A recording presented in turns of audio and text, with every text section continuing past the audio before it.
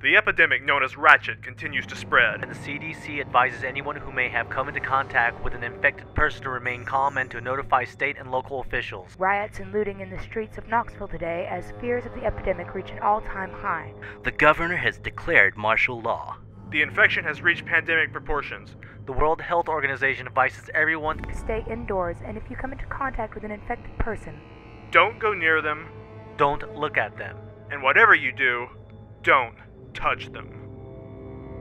In a world overrun by a deadly disease. And all this stuff about revelations and the end times and what's going to happen. This outbreak has me a little concerned.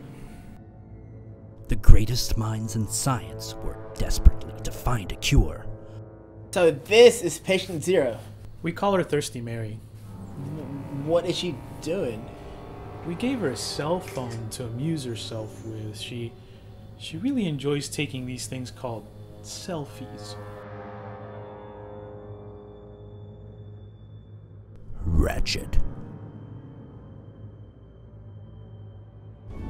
Turn it to music. Wait, what are you doing? Ah, oh, yes! That's my jam!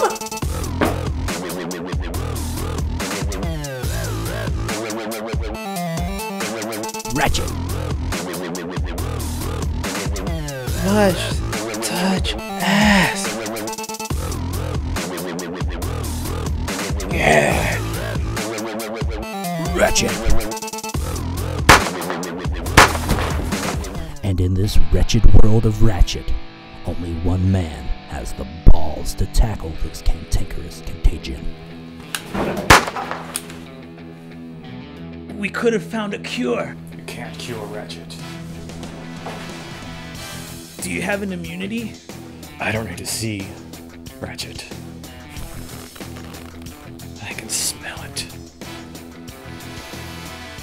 No borders can contain the spread of Ratchet. Ratchet can even survive in the vacuum of space.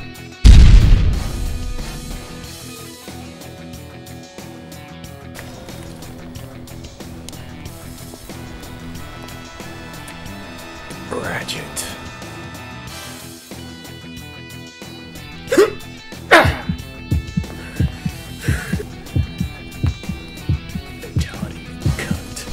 Twisted minds that brought you Don't Haze Me Bro, Hickpix, and Hickpix 2 Balls Deep comes the worst outbreak ever brought to the screen. Oh.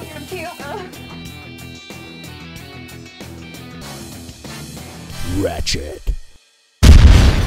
Coming this summer.